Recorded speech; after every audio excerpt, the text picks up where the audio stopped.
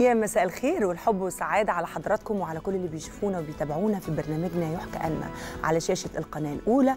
بكون معاكم رانيا السيد دايما في نفس الميعاد من كل أسبوع. بنكون معاكم دايما وكل حلقة جديدة في عالم الكتب. وطبعا قبل ما أتكلم عن أي حاجة حابة أقول لحضراتكم كل سنة وحضراتكم جميعا طيبين وبخير. وإن شاء الله تكون سنة سعيدة جميلة عليكم جميعا.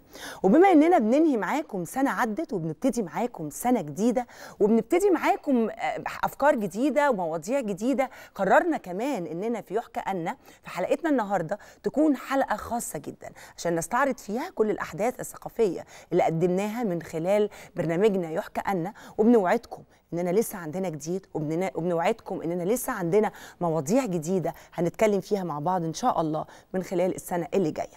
كنا معاكم من داخل وأهم وأبرز الأحداث الثقافية من معارض وندوات وحفلات توقيع عشان كل ما هو جديد في الوسط الثقافي.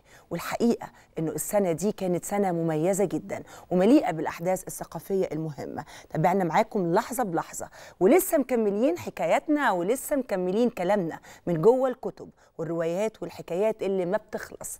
ولان كل يوم فيه جديد فإحنا دايما هيكون معانا مواضيع جديدة بنناقشها بنناقش تفاصيلها مع أفضل الكتب ومع أفضل الكتاب المبدعين المتخصصين.